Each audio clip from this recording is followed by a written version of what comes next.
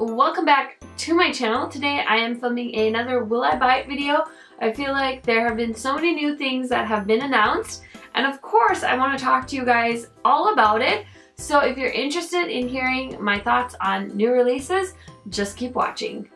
Okay guys, so I hopped on the Trend Mood 1 Instagram page. The first thing I see is that the new Becca palettes are now available on Ulta's website as well as Beautylish's website. Now I have not been using this a ton, but so far I do really think this is a fun palette. Do you need to run out and get it? Probably not, uh, but it's it's interesting. I feel like they're trying to make a run for some hourglass money because that's the vibe I get from this whole palette. But if you have some extra change and you want to try out some of Becca's products, this might be a fun palette for you guys to check out. Now the next thing I see is BH Cosmetics is rolling out a new Galaxy palette and this is called the Aurora Lights. This is so freaking beautiful, you guys.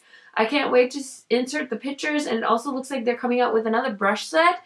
BH Cosmetics has just been on a freaking roll. I recently picked up the BH Cosmetics Take Me Back to Brazil palette. Really excited to dig into that and now it looks like this new palette and their stuff is so affordable.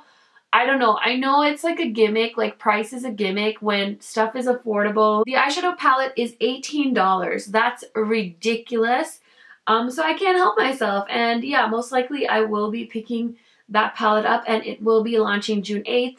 The shades do look very similar to the ones that come in the Zodiac palette, like the same baked vibes, but this has some beautiful pink shades and some wonderful colors that I think will pair really well um, with those vibrant pink shades. So let me know if you guys are excited about it. I definitely am. Okay, so it looks like Jeffree Star has revealed some sneak peeks of his new summer line. It looks like it's all going to be revealed tomorrow, which is June 1st. And it looks like the you know, collection will launch mid-June. If I find out more before this video goes up, I will try and add it in editing.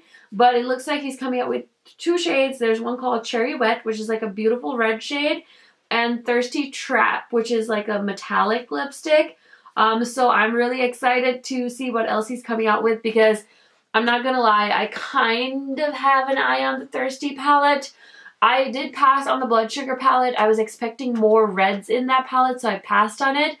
Um, but you guys did see, I think the Thirsty palette has a yellow and a blue in it, so I'm a little bit intrigued. I want to see what he's got under his sleeve. Uh, Too Faced just announced this palette. Um, is it called like Back to the 90s or something? It's a glittery pink palette and I feel like they're getting a decent response from this palette. A lot of people are showing like interest and seem to be, you know, excited about it. Personally, I think it looks like a really big palette, you guys. And it looks like it's all glitter and um, it looks like basically what they're doing is coming out with the original shades from 1998 and they're doing reinvented shades from the originals for this like 2018 so 10 years apart that's an interesting concept. Yeah i'm interested i mean it's like so are is the formula going to be from 1998 because if that's the case like do we really want a palette with shades that were formulated from 1998. The shades from 2018 look really vibrant, so I'll be interested to hear your thoughts on that. I got so excited when I saw this Storybook Cosmetics is coming out with another round for their Mean Girls collection. Now I do have the Storybook Cosmetics Mean Girls palette, the Burn Book palette, and uh, I think I did a swatch party video, but I have not reviewed that for you guys yet. I I can't stop, won't stop with the eyeshadow palettes, so I have quite a bit of backed up eyeshadow palettes to get to reviewing, but hopefully, um, you know, I'll continue to test my palettes and bring you guys reviews, but I'm excited to see what part two is about, because who doesn't love Mean Girls? I mean, really. Okay, so Spectrum Brushes is coming out with a Little Mermaid themed six-piece collection, and they've got like all these different makeup brushes themed with Little Mermaid. Little Mermaid was not my favorite Disney princess. I'm more of a Belle girl, but even that, it's more so because we did Beauty and the Beast as a musical when I was in like middle school. Um, so I'm really not into Ariel. and so I will be passing on that collection. Patrick Starrr and uh, MAC did reveal their round three collaboration. So they're doing a summer collection. And I don't know what this collection is called, but I do love the packaging. It's very vibrant and it looks like these are going to be sold in kits as well. I have not bought anything from the Patrick Starrr line so far. And it is so cool to see people like supporting him and stuff like that. But honestly, I'm just not into MAC at the moment. Every once in a while, I will pick up something from them. Like I recently picked up this guy, the MAC Fix Plus Gold Light. And I must say, this product I don't really like. I don't really see uh, much of a difference between this and just using the regular Fix Plus. So that's my little review for you guys. And I know they just came out with the Matte Fix Plus. And I want to try it, but I'm also a little bit apprehensive. Plus, I have more setting sprays. Then I know what to do with. So I'm going to hold off on that as well for now.